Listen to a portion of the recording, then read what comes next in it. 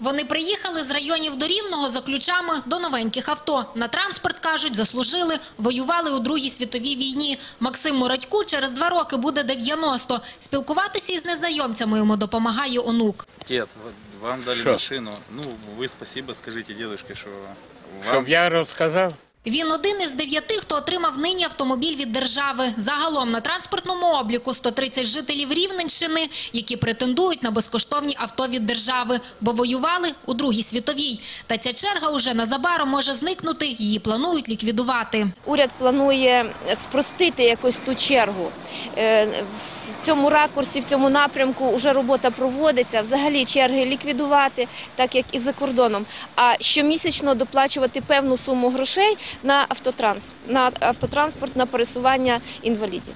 Кожен такий автомобіль – 60 тисяч гривень, дешевий у ремонті та не їсть багато пального. Середня витрата в середньому 6,5 літрів в змішаному циклі. По місту, звичайно, трошки більше витрата, але за містом, звичайно, менше. В середньому там буде 5, 5 літрів по, по трасі.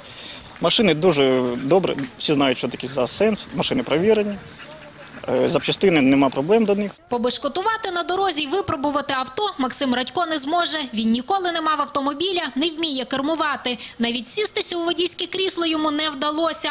Возитиме фронтовика син Віталій. Заслужив, значить, він, щоб отримати цю машину. І так ми раді, що він в такі годи вже отримав, він вже не знав, що чи буде така, чи не буде награда. А спасибо правительству, що воно ощасливило їх на, на даний момент, ще поки вони живі.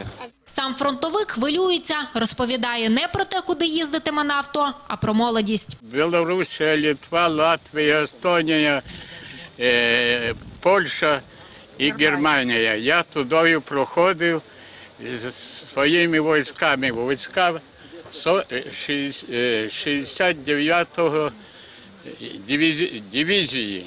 Серед дев'яти новоспечених власників автомобілів восьмеро державну автівку отримали вперше. Тетяна Коваль, Юрій Кобів. Новини Рівного.